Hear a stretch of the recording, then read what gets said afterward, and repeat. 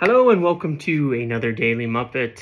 A little bit overdue on this video. I've been promising to come for a couple days. Just been pretty busy, but it seems like a good time. Now that the news is finally out there, it's easier to explain exactly what is going on. So once again, I'll do one of these little brief impromptu videos from home um, today just to, to try to explain the situation, what's going on. So let's roll back the clock to Tuesday and talk about what we revealed at that time and how it ties into all of the news you are seeing now and exactly what it all means. And I will add that I'm going to, I have a little bit, just a little bit of transfer news that I can add to this uh, video as well, um, specifically regarding Weghorst, Sabitzer, and a couple other things.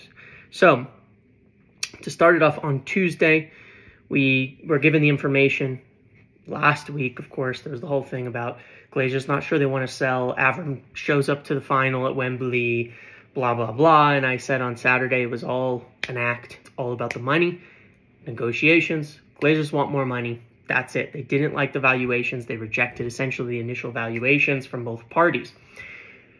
Roll on to Monday. They had discussions between both parties and Raine Group and in Tuesday's video, I mentioned that in those discussions, they were asked, both Sir Jim Ratcliffe, Qatar, and if there's anybody else involved, yet unnamed, if they were willing to increase their offers and to ensure that they had some flexibility in their ability to pay or what they would be willing to pay for Manchester United because the valuations weren't high enough for what the Glazers wanted. At that time, I was specifically told the answer was yes, you can watch the clip I put back out on Twitter just in case you're, you're wondering um, because I don't have the ability to splice it in this video from my phone and where I'm at right now.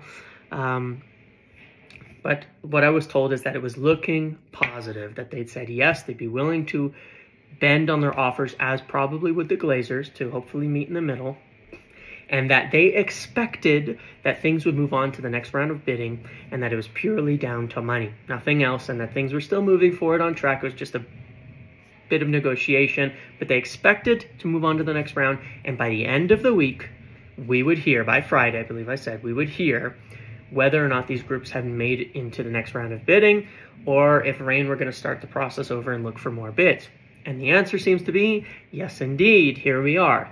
This is the news that has been coming out actually since Friday morning from Jamie Jackson and Simon Stone on Friday, and the full brief out today that parties have been invited to Old Trafford. Apparently, it's going to be at Old Trafford. That might be the new bit today to speak to Raine Group uh, representatives about the bids for Manchester United to do the due diligence, which means to get into the detailed financial records, have talks, and really get into formal, real serious discussions about the purchase of Manchester United, what they'd be willing to bid, what they'd be willing to pay, and where we go from here. Here's what I want to tell you first and foremost throw out every dollar amount you've heard before this stage. It does not matter. None of them were real bids. None of them were bids that could be accepted. Now is the real work where the parties are going to in, really investigate the detailed finances of Manchester United and make actual bids. We will pay this much. This is the cash. These are the terms. This is how it's done to the Glazers for their share of the club, which is that 69% controlling stake. And um, nothing matters now except what ends up on that bid. On that bid that they put in following these discussions, um, that's all that matters in terms of pricing. So forget everything else, but think that probably what the Glazers are looking for, as I mentioned before, is something around four billion to them, probably a little under that. That's not a club valuation of four billion. That's to them for their 69%. So just don't worry about any more numbers at this point in time until we see if reports come out about the actual bids themselves. So remember, this was essentially a three-stage process. Um, first stage was that soft deadline. Who's interested? What kind of value do you put on the club? Major offers, minority offers, all of that. Review of those offers, further brief discussions because they weren't too happy with them originally. Now moving forward into the second stage, the second stage being now you need to dive in and actually give us serious bids because what's the third stage? We like this bid. We're in exclusive talks to sell the club. Let's hash out and hammer out the fine details. And that actually does not take very long believe it or not. Um, because the parties buying will have the money if they reach that stage. So here's where it gets real interesting, where there's a couple things I want to touch on about this.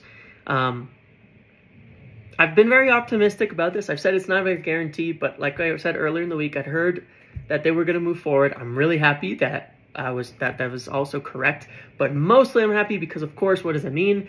It means it's most likely that Manchester United are going to be sold and the Glazers are not going to be the owners any further and that it can still should be concluded in the time frame we're talking about end of April. That was reported in Ducker's article from the Telegraph that um, they were still looking at that timeline of end of April, and that is what everybody wants.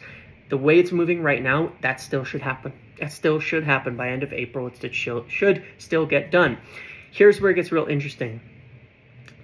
This, this is meaningful. This is not speculative. This is nothing. This is meaningful stuff. The fact that majority offers, both the pub, two public ones and something we'll talk about in a second, two public ones, made it into the next stage. What does that tell you? It tells you that the Glazers are looking at full sale of the club. If they were looking at minority stakes and they had minority offers that were workable for them, they wouldn't be moving these guys on to the next round. The fact that they have done so kicks the probability of the sale up from probably where I would say it's been at maybe 70% to I would now say 90% that the club will be full sold. It really just comes down to these talks and if they can reach a full agreement on the exact pricing, and that's it at this point in time. And I do believe that they will.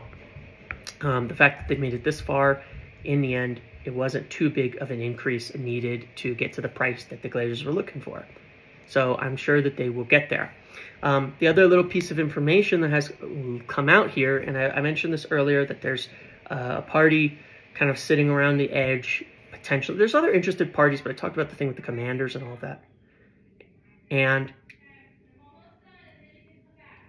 sorry. Um, and basically that, um, you know, essentially that um, there was another party, and it seems to be reported that there's a third unnamed group that have been invited into these talks as well.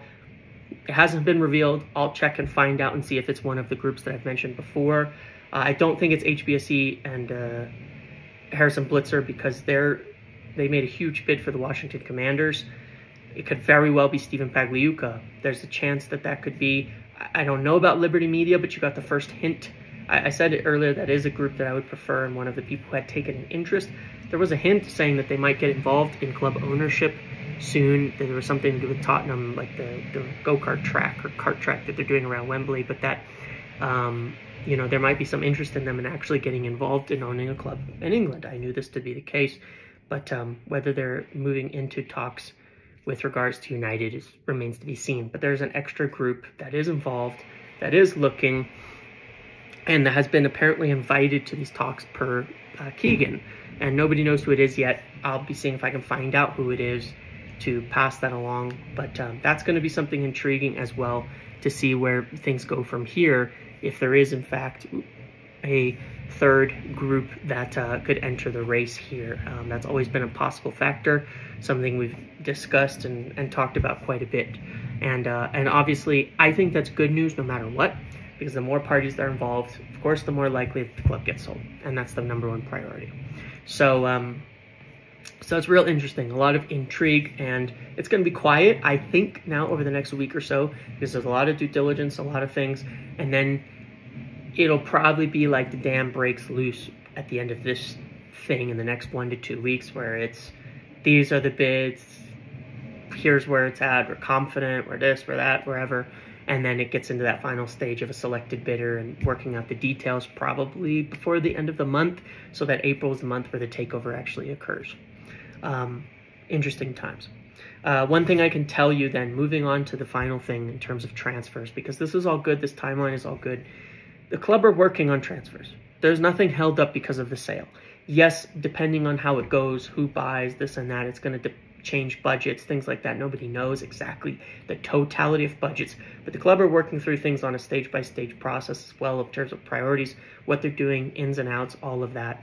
And they're going to work through that regardless of how much budget and do as much of it as they can for their ideal setup. Now, um, a couple of things that I can say is that striker's obviously is far and away the number one priority still and maintains that. Um, in terms of Weghorst, the the issue is he's really well liked, but at this point in time, it's said that it's he's he's uh, he's on the lower end of likelihood for being signed right now, and the reason is of course with a full striker purchase, big money striker being spent. And I'm not really going to get into this, but potentially the return of another player, it's unlikely that they need to buy another forward. That's just the current state of things. I put him based on what I've been told on the lower end of likelihood that he gets purchased, even though I think he's done a good job.